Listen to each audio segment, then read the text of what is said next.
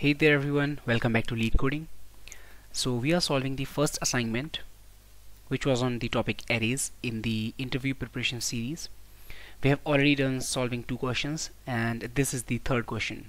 So before we move forward with the solution, if you guys are new here and if you are preparing for your coding interviews, make sure to subscribe to the channel and press the bell icon so that you can get notifications to the latest videos.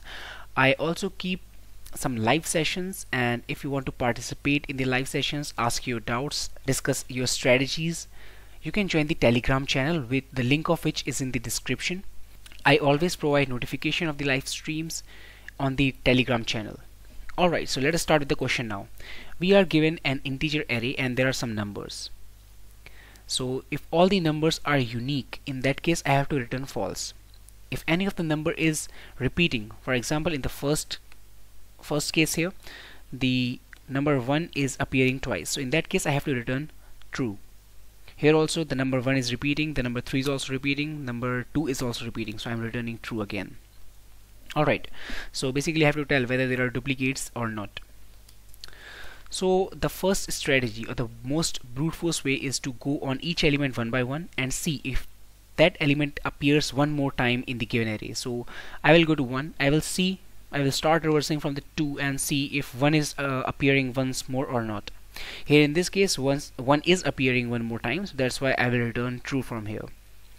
Here I will go to 1 and then I will see if 1 is appearing one more time. No. Then I will go to 2 and I will again check if 2 is appearing one more time. No.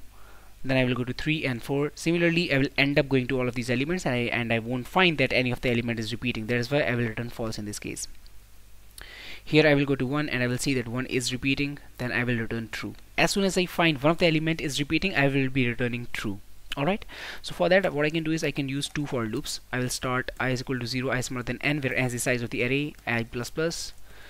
Then this is my element. So e is equal to nums of i. Okay? So now I will do a search I will try to find if there is one more e available in the array or not. So for that int j is equal to i plus 1 why i plus 1 I want to go for I want to search from the next element because the previous one we have already covered. There's no point going to the previous element if you think of it. So j is equal to i plus 1 j is smaller than and. J plus plus. If nums of i or nums of i is equal to e so we can just take it as e. If e is equal to equal to nums of j in that case I can return true because e is appearing one more time. So return true. Uh, oh, I mean um, shall we return true here? Yes we have to return true from here because there are repeating elements. Otherwise at the end I can return false. Let me just try to submit this and before submitting don't forget that n is the size of nums so now let me try to submit. I hope there are no compilation errors.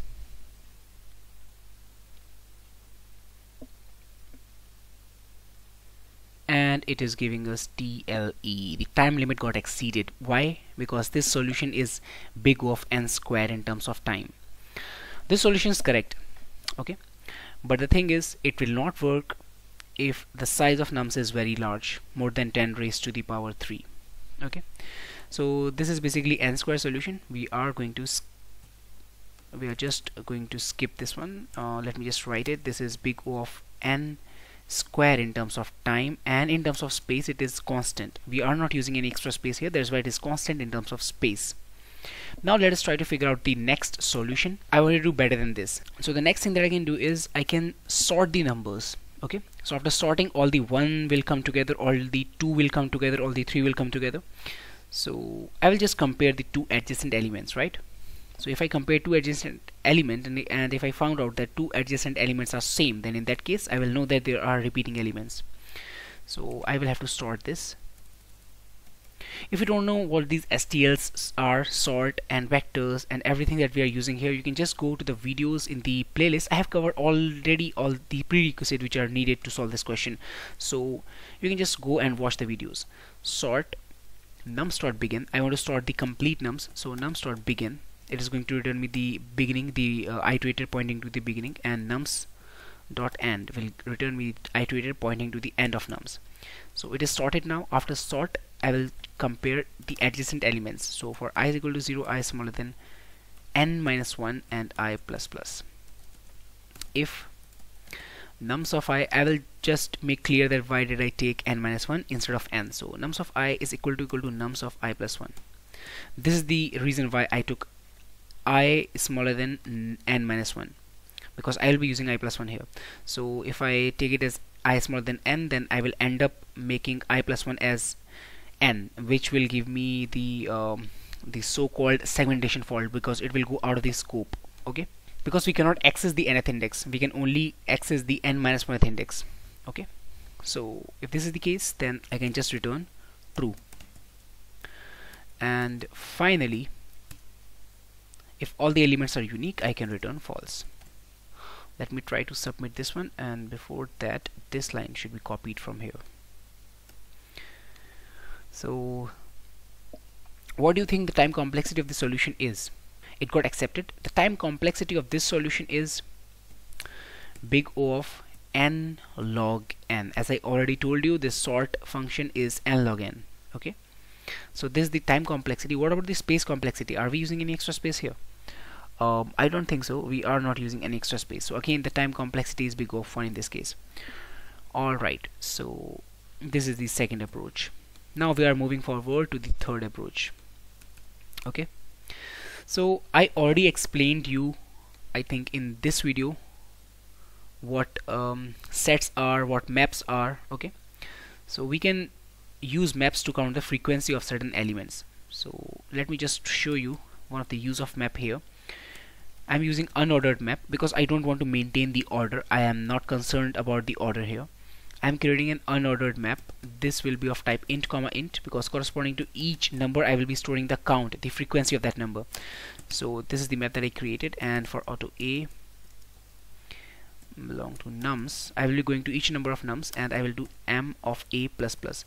That means I'm just incrementing the frequencies of those elements so um, the the uh, output in this case will be corresponding to 1 there will be 3 corresponding to 2 there will be 2 because uh, 2 is appearing twice. Corresponding to 3 there will be 3 again because 3 is appearing twice. Corresponding to 4 there will be 2 so this will be the content of the map. Now um, yeah what should I do now? So should I go to each of the elements of the map and see if all the counts are 1 so yeah I can do that. So for auto a belong to m I'm going to each of the element of m and m and a is actually a pair I already explained all these things in the previous video. So you can go and watch if you don't know about that. So a is actually a pair. So a dot second will give me the count the frequency. And a dot first will give me the number. So let me just print the entire content of the map. Then you will have a better clarity what maps are. So I'm just printing cout a dot first. A dot first will give me the number. And a dot second is going to give me the frequency of that number so let me just write try to print this F-I-R-S-T. First alright and at the end I should return something. So let me just return one from here. Yeah I'm returning one to uh, just complete the syntax okay? I'll just forget about the last return statement. O unordered map of int comma int. Uh, the spelling is incorrect. Alright let me try to run this now and we will see the content of the map. Um, actually wait a second. I should I should use this example here. Instead of an empty string that I'm passing I should use this example. So according to me the content of the map should be corresponding to 1 corresponding to 1 there is 3 corresponding to 3 there is 3 corresponding to 4 there is 2 corresponding to 2 there is 2 these are the numbers on the left hand side on the right hand side these are the frequencies of those numbers all right? So this is the content of the map and we can see there is no order because we are using unordered map and instead of unordered map if I use ordered map then uh, the these numbers will be sorted. So the first number will be 1 corresponding to 1 there is 3 then 2 then 3 then 4 alright so but if you use ordered map it will take me n log n to insert all these elements. If I take unordered map it will just take me big O of n alright? The unordered maps are actually faster so if we don't want to maintain the order we can use unordered map here. So now I can go to each of these elements and I will see if a dot second is equal to 1 so if a dot second is somewhere greater than 1 that means we are having repeat repetitive elements or duplicate elements. So we can return true or 1 otherwise at the end we can return 0 let me just try to submit this now and hope that it gets accepted. And it is getting accepted. So what do you think the time complexity here is? The time complexity again is big O of n. Why? Because we are inserting all these n elements into the map and then uh, we are going to each of the elements of the map but mm, the elements inside the map will either be equal to the total elements or will be less than the total number of elements in n depend if there is a duplicate or not. So in the worst case we are using big of n extra big of n time and how much extra space? So in the worst case it might be possible that all the elements are unique and they will take big of n extra space inside the map. So the space complexity is big of n in the worst case. So could you see here? Initially the space was constant but the time was n square then we went to n log n time and the space was constant again. Here the time complexity became big O of n and the space complexity also became big O of n. So as we are uh, trying to improve the time complexity we are compromising the space complexity right? So this is called space-time trade-off. Now let us discuss one more solution using set okay? Again you can learn about set from uh, this video in the playlist okay? So we are coming back here we are using unordered set. We are not bothered about the order so again unordered set of type int s okay? Now insert all the elements into set. S dot for auto a belong to nums s dot insert a. And finally um, what I can do? So basically set has a property the property of set is in like mathematics all the elements in the set should be unique. So even if we insert some duplicate elements it will only store one copy. In this case it the set will only store 1 2 3 and 4 okay? So the size of the set will be 4 in this case but the size of nums is uh, much more than 4 here also the size of set will be 4 and the size of nums is 4 as well. In this case the size of set will be 1 2 3 only 1 2 3 will be stored in the set so size will be 3 and uh, but the size of nums is 4 so we will see.